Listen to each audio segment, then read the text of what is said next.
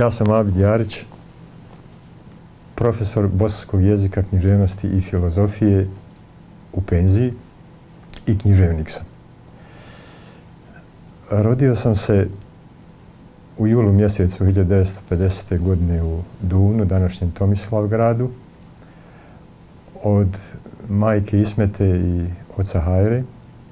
Bilo nas je dvoje djece u porodici. Ja i moja sestra Rahmet Lazara, koja je također bila ovdje u Zenici u prvoj gimnaziji profesorca bosanskog jezika i književnosti. Djetinjstvo i dobar dio mladosti proveo sam u Duvnu. E, tu sam završio i osnovnu školu, e, a potom i gimnaziju Duvanjsku. I e, poslije toga upisujem se na Filozofski fakultet u Zadru na grupu Hrvatsko-srpski jezik, književnost i filozofija. 74. godine sam diplomirao i vratio se u Duvno i zaposlio kao profesor e, hrvatsko-srpskog jezika i književnosti. I tu sam bio, dakle, u mom rodnom gradu sve do 1993. godine, poslije koje dolazi ratna kataklizma, useljava se u naš grad, u naše mahale, i potom dolazi do onoga što je opće poznato, a to je iseljavanje bošnjačkog stanovništva. Među njima sam posljednji u septembru mjesecu 1993. godine otišao i ja sa svojom porodicom u Minhenu, Njemačku, gdje sam proveo četiri, četiri godine. Međutim, htio bih se zadržati na ovom periodu od 74. do 93. godine, kada sam stasavao iz jednog mladića u zrelu osobu e, i kada sam u svojoj gimnaziji gdje sam maturirao počeo bivati profesorom i učiti djecu mojih komšija, susjeda, poznanika i svi oni nepoznatih ovaj, koji su dolazili u Duvanjsku gimnaziju.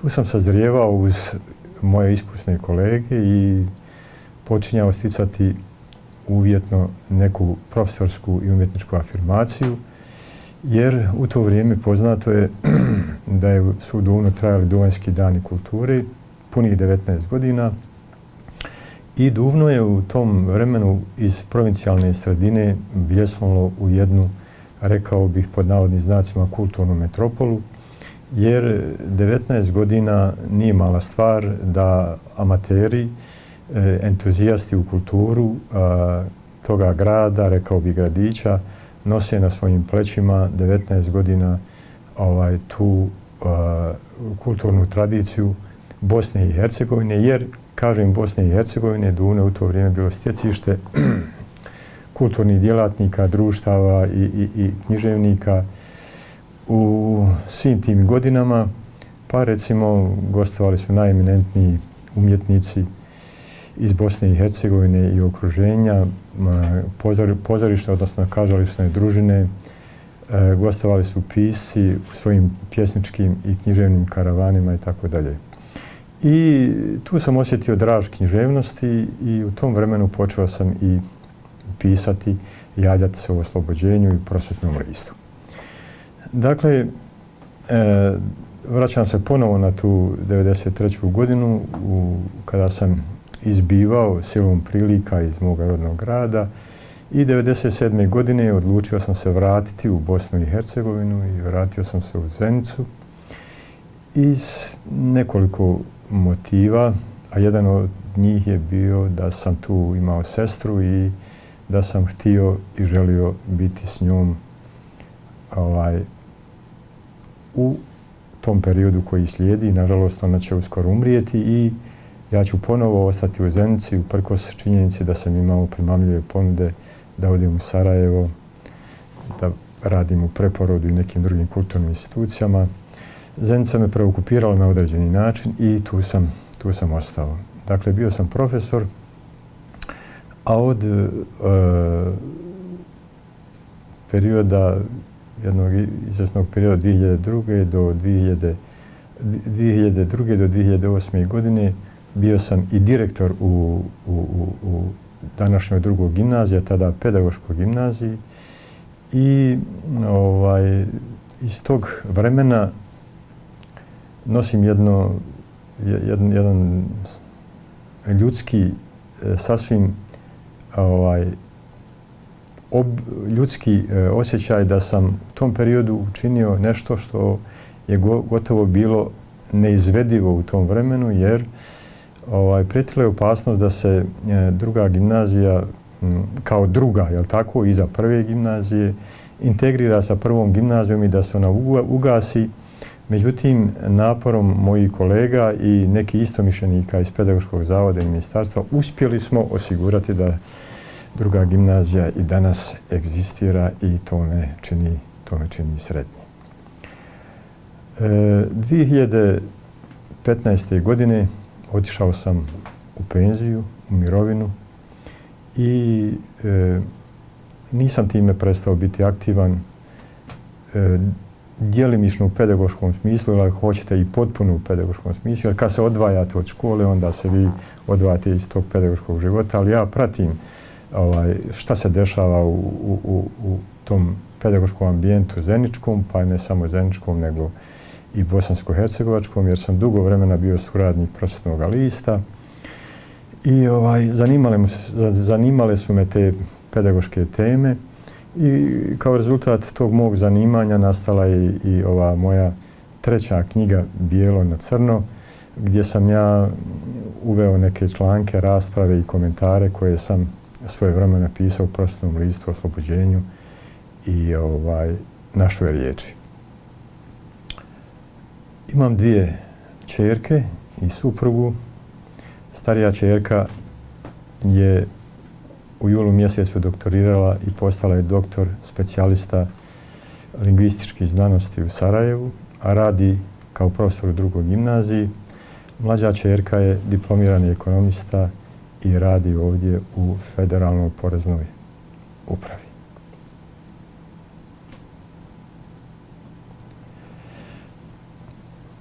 Što se tiče mog književnog rada, povod je u stvari moj književni rad. E, mogu reći da sam dugo vremena čekao da počnem pisati jer sam predugo čitao i smatram da se ne smije i ne može ući u, književne vode, spisateljske književne vode, ukoliko pisac, odnosno čovjek prije toga nije, nije dugo i, i, i istinski čitao.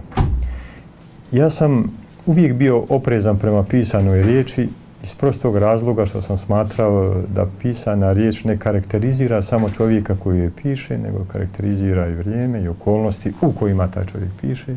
Pa prema tome u čovjeku se mora javiti i ovaj velika doza odgovornosti prema onome što piše i što je napisano. Doduše, prije mog e, književnog ozvaničenja ja sam se javljao i pisao sam, bio sam kao što rekao suradnik u nekim listovima koji su tretirali književne i kulturne teme, ali i prosjetne teme. Pa sam negdje predrat e, bio vrlo aktivan u, kao dopisnik ili kao kolumnista u oslobođenju, gdje su ostali zapaženi moje, neke književne rasprave ili članci o književnosti.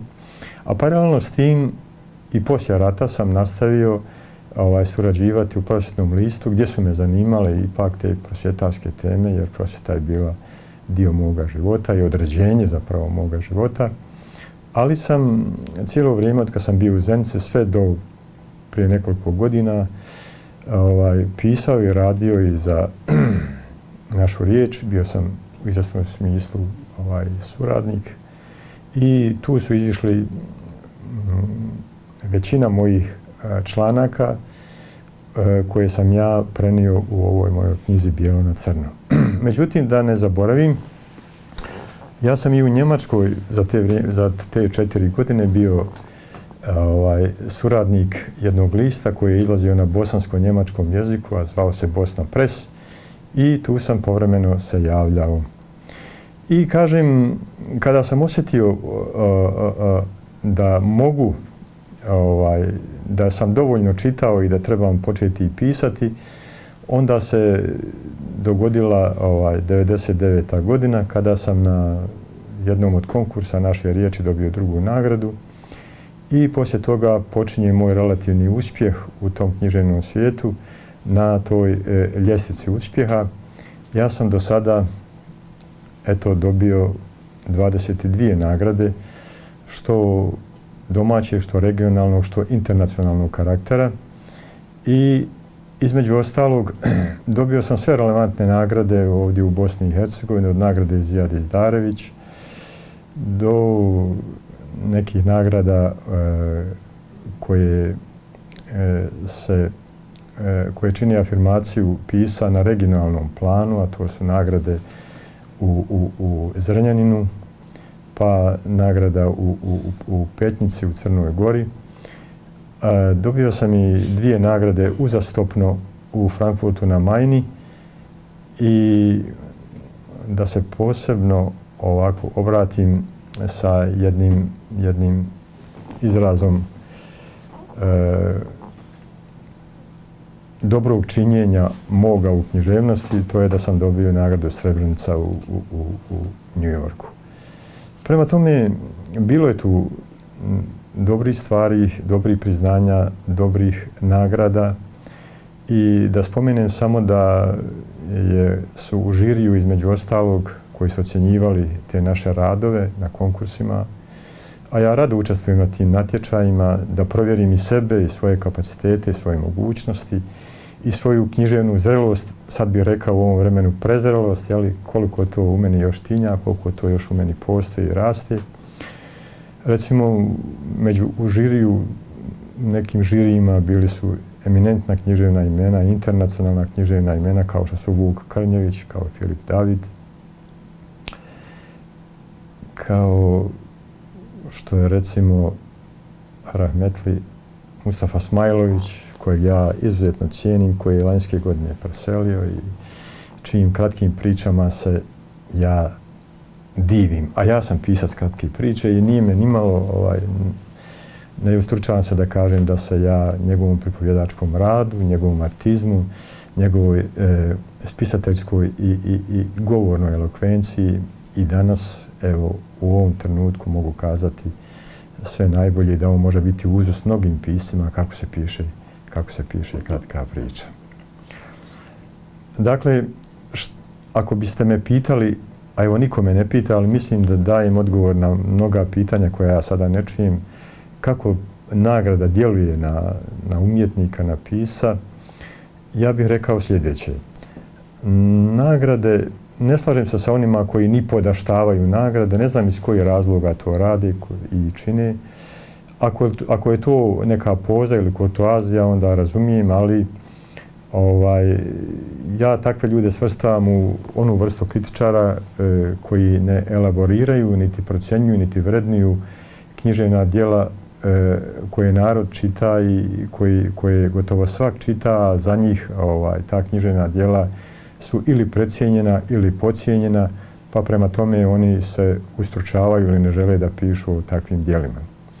Nagrada sama po sebi nosi jednu određenu emociju koja nadahnije, koja inspirira i koja postiče pisa, odnosno umjetnika i svakog čovjeka. Jer nagrada i postoji zato da ovaj, podigne tu ovaj, da podigne zapravo razinu e, čovjekove, umjetnikove svijesti o tome da neko vrednuje njegov rad i da je taj rad priznat i da se i u budućem vremenu može i treba na taj način ili na bolji način obraćati čitalačkoj publici.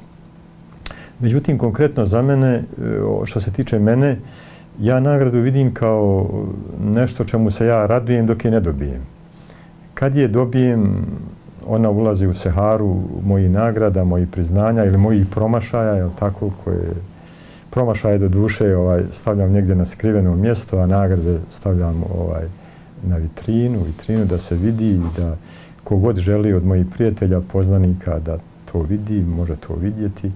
A na kraju krajeva stavljam i zbog jednog prostog razloga da moji unuci i moja djeca ovaj, jednoga dana kad mene više ne bude e, znaju, vide, osjete i potvrde sebe u tome da nijedan napor čovjeku, u čovjekovom životu nije uzaludan i da će se taj napor kad tad isplatiti, eto, meni se u, određenom smislu isplatio u, afirmaciji mojih kratkih priča kroz, ove nagrade.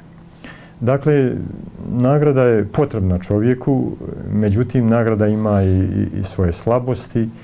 Ukoliko čovjek e, s tom nagradom smatra da je do kraja života ocjenjen njegov talenat i da on više ništa ne treba raditi, dakle, nagrada može biti i mora biti samo posticaj za još bolje i još kreativnije pisanje, odnosno kreativniji odnos prema onome što pisac naziva ovaj, umjetnička stvarnost.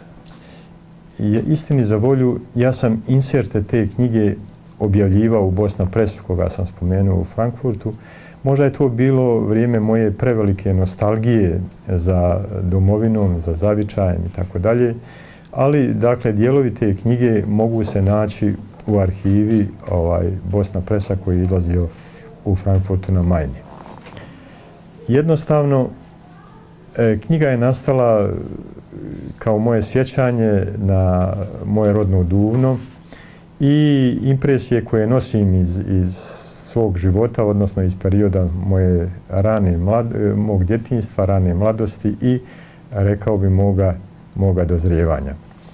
I ako hoćete da budem do kraja iskren, onda moram reći da sam najemotivnije vezan za tu knjigu bez obzira što su naredne knjige koje su se pojavile ovaj, imale više uspjeha i ovaj, bile su čitanije, afirmirali su na određeni način više moju ovaj, spisateljsku ličnost, ali ja sam kao čovjek gotovo potpuno vezan za tu knjigu, jer je u toj knjizi čitav jedan mikrosvijet moga djetinstva, onako kako sam ga vidio u to vrijeme i kako sam kroz jednu ljudsku e, i intelektualnu metamorfozu kasnije kroz u toj knjizi sve to ovaj transponirao i stavio stavio kao, kao moguće priče. Knjiga se sastoji od dvadesetak priča koje, kažem, tretiraju na određeni način zavičajnu tematiku i ljude iz moga zavičaja. Normalno, to nisu dokumentarni tekstovi, to su tekstovi koje nose u sebi, e, je rekao bi, pojačanu dozu literarnosti i u toj knjizi, ovaj, kad sam vrš, imao promociju u Duvnu, ovaj, osjetio sam, dok sam promatrao te posjetioce koji su došli, a tu je bilo mnogo mojih ovaj, bivših učenika, mojih prijatelja i tako dalje, osjetio sam nešto što se zove e, suza u oku. Dakle, to mi je bilo dovoljno da priznam sebi da nisam pogriješio, jer ovaj, ganuti nekoga u dušu, zato treba imati snažnu emociju e, u knjizi i treba imati pravu riječ. Ako sam to osjetio kod onih kojima sam se obratio, mojim bivšim sugrađanima i mojim dunjacima, onda sam i tada, a i kasnije bivao uvjeren da taj zavičajni, e, zavičajna tematika, bez obzira što, se, što knjiga nosi ovaj naziv podgradinske priče, to su stvari, odnose se na to ponim Duvna, je li tako? Jer iznad Duvna ima jedna velika gradina po kojoj je to mjesto e, prepoznatljivo, a i u okolini ima čitav niz tih rimskih zaostataka, pa ovaj, kad sam razmišljao e, koju bi alternativu uveo toponimu Duvno, onda sam ovaj, vjerovao da bi ta podgradina mogla biti ovaj, adekvatan, adekvatna zamjena. I kasnije, kad se pojavila ta knjiga, kad je krenula u život, onda sam osjetio veliki interes Duvnjaka ovaj, za nju i gotovo da od te knjige imam samo taj primjerak, kućni primjerak i ništa više. I drago mi je da je to tako. Ako bude potrebno i ako bude interesa i, i dalje za tu knjigu, onda će štampati u drugom izdanju. Ali sve u svemu, draga mi je knjiga. E, recenzent te knjige bio je jedan čovjek koga ja kao, čita, kao pisa jako cijenim. Neđib Smajlović je bio. E, čitao sam i čitam povremeno. Nažalost, on se povukao u spisateljsku anonimnost. Ne znam iz kojih razloga, ali šteta je to za kulturnu scenu, književnu kulturnu scenu Zenice i ne samo Zenice, nego i Bosne i Hercegovine, jer je svojim knjigama i svojim pričama i svojim e, kolumnama svoje vremeno dok je radio kao novinar u našoj riječi pokazao jedan izvaredan talent i jednu sposobnost nevjerovatne konstrukcije misli kroz rečenicu koja zapravo ovaj, plijeni čitavaca. I ovaj, on je napisao tu recenziju, bio je sa mnom na, na promociji ovaj, u Duvnu i ne samo on, nego i neke moje kolege iz moje bivše škole, koje su na određeni način predstavile tu knjigu, pa smo mi umjesto jednog običnog, uobičajenog predstavljanja knjige napravili jedan kolažni program, što se jako svidio ovaj, toj publici, jer bilo je to vrijeme e, kada, su, kada se još ta paučasta učmalost vihorila iznad ovaj, tog mog rodnog grada i kada je e, svaka posjeta umjetnika bilo odakle da je dolazio bila željno očekivana i ja sam to predosjetio i napravili smo jedan kolažni program, pa je tu bilo i pjesme bilo je tu ovaj, i nečega što izlazi izvan e, tipičnog književnog konteksta, ali e, program je otprilike trajao dva sata i bili smo svi zadovoljni. Pa ne znam zašto. Moguće da razlog leži i u meni, jer nisam bio previše ambiciozan, a moglo bi se kazati da i to čitalačko književno ovaj, okruženje oko Zenice i oko nas e, nije previše zainteresirano za ovakav ovaj, oblik predstavljanja kulture, a ja nisam insistirao na tome, pa je dakle sve se završilo na te dvije promocije i kažem vam, bile su sasvim dovoljne da se i danas traži ta knjiga, ali eto, nažalost, više i nema i ovaj, možda razmišljamo i u nekom drugom izdanju. Ja kažem da sam ovu knjigu, dijelove ove knjige ili neke priče u konceptu već pisao prije rata.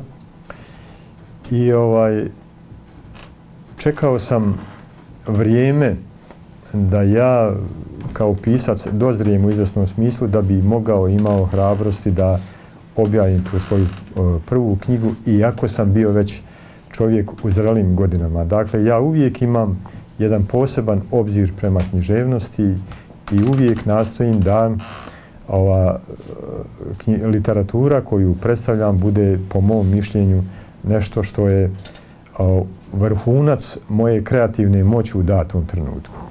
I onda se desio taj rat i ja sam ponio u ta dva kofera koja sam iznio iz rodne kuće, ponio sam i te zapise mojih ovaj, koncepata, tih priča, tamo gdje sam bio u Njemačku. I onda sam e,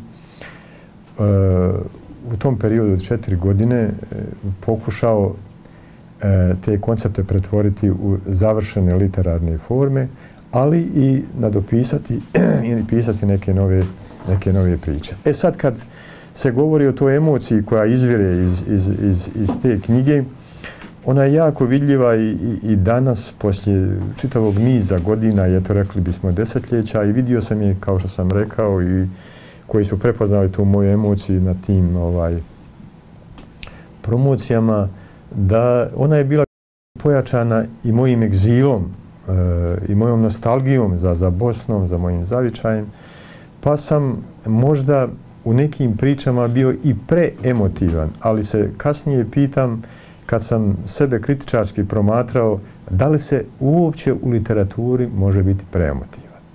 Ja ne znam kakva bi to literatura mogla privući čitalačku želju ako je hladna i neemotivna.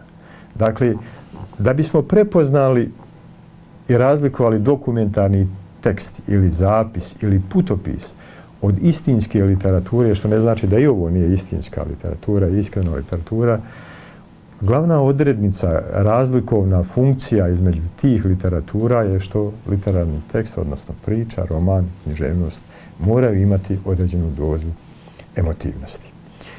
I iskren da budem, radovalo me kad sam poslije Duvanjske, jer je to bila prva ova, promocija, kad sam upriličio promociju u, u Zenici, onda je među tim ljudima koji su došli čuti tu moju spisateljsku i ljudsku riječ, bilo puno duvnjaka, što me nije začudilo, koji trenutno žive u Dunu, u Sarajevu, u Bihaću i tako dalje.